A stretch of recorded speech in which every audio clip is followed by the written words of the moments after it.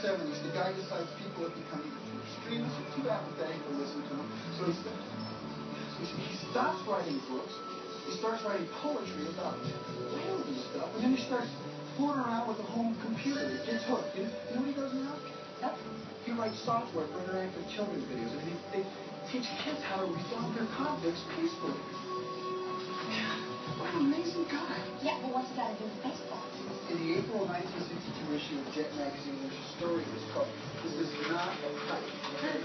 Some that the Euro character that's the age 26 years old in Chinese My father. Wow. Wow. We always say big wow. What's it got to? Big wow.